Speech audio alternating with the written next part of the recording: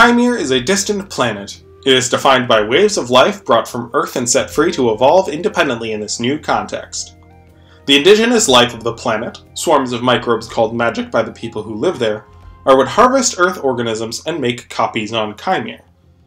This process began back in Earth's late Devonian. The first harvest to bring life to Kaimere included scorpions, which were some of the few organisms to make the land of Kaimere their home at this time. Shallow brackish water in the region surrounding the portal was by far the most productive, and this habitat was the highest concentration of life brought through the portal. Seems this productivity, compared with the relatively barren terrestrial habitats at the time, drew scorpions back to the water. Although we associate scorpions with arid environments today, scorpions are, after all, one of the iconic desert fauna, their roots are in aquatic habitats, and the scorpions of the first harvest were not far removed from these roots. While some remained on land, some of the larger scorpions made use of their book lungs as gills to make the best of both worlds, hunting in shallow waters to catch the abundant game without being too close to the aquatic predators like stem tetrapods and placoderms. This world was a fragile one, and the first extinctions were devastating. An arid period wiped out most of the terrestrial organisms in Kaimere. This, combined with the extinction of their aquatic predators, seems to have greatly favored the adaptable scorpions, and their full return to an aquatic habitat was highly successful. In a matter of a million years, aquatic scorpions experienced a boom in diversity. Some evolved flukes on their tails and feet for open water propulsion. Others walked along the bottom of aquatic habitats. Others still became elongated and specialized as hunters in the coral reefs which were rapidly spreading, taking over the calcified reefs of indigenous Kaimeran magic. Carcinization is the phenomenon of crustaceans taking on a crab-like body plan, with a wider shell than it is long, and abdomen partially if not fully obscured from the top view. This body plan is very agile and efficient at the expense of speed and forward hydrodynamics. This has independently evolved in at least five lineages of crustaceans in Earth's history.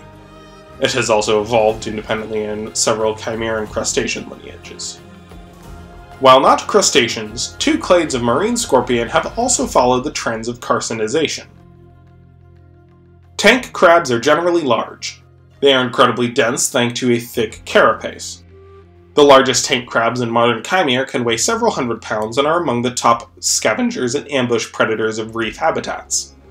Their stinger is straight, heavily calcified, and thrusts into prey from beneath, although they are often will simply tear into game rather than taking the time to position it for a sting. Smaller but more abundant are the crab scorpions. Their lineage is quite ancient, and they were crabs before any animals we call crabs were harvested.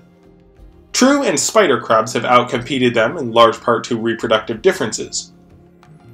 Scorpions are K-selected, having fewer lung that they give live birth to and care for over a period of several months to even years. This means that a lot more of the scorpion young will reach adulthood, but crustaceans have a significant numeric advantage, with each female laying millions of eggs each season. Over time, this has generally favored crustacean crabs, although crab scorpions have held their own in specialized niches. The trident scorpion is quite common throughout the known world. It is a giver and taker of life in the folklore of many Kaimeran peoples, and is often used as the archetypical species in this overall clade of aquatic scorpions.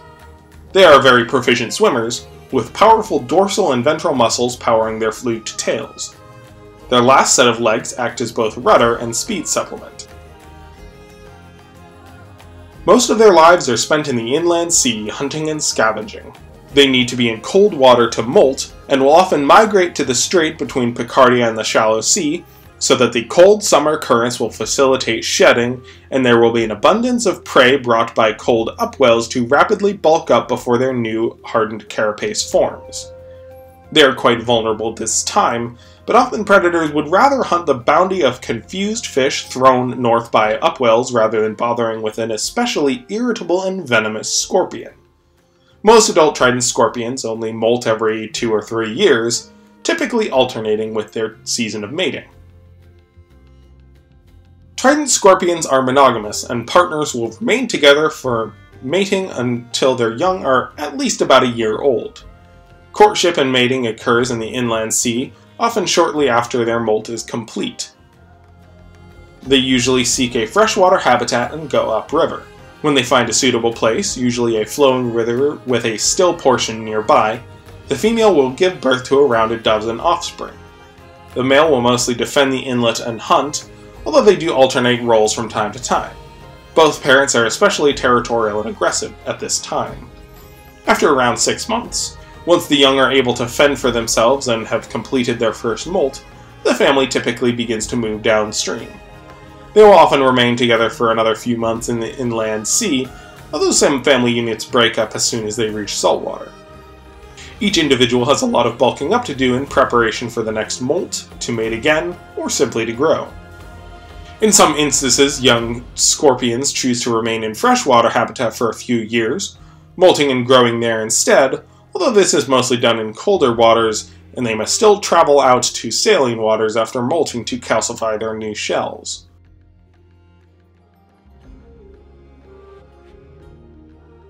The largest arthropod ever to evolve on Kaimere or Earth is the Inkilatura, these colossal relatives of trident scorpions can often reach 15 feet in length as mature adults, although 20 foot specimens are well documented in colder and southern waters, and there are rumors of 30 foot leviathans in the oceans near Kaishel. They are filter feeders, using long barbed filaments on their pincers and legs to grab plankton, and combs on their chelicerae to process their catch. These shells feature a wide range of bioluminescent glows. The pattern on these marks are unique to each individual. Although used to lure prey, these markers give the Inkilatura its name, which means piece of the midnight sky in the language of Escadine peoples, and is said to reference a legend of the shooting stars being scorpions falling out of the sky and crashing into the sea. At night, when cold waters rise, many Kaleen sailors are treated to the spectacle of the ocean sky as millions of bioluminescent plankton rise from the depths and are fed upon by these massive silhouettes lit up by stars.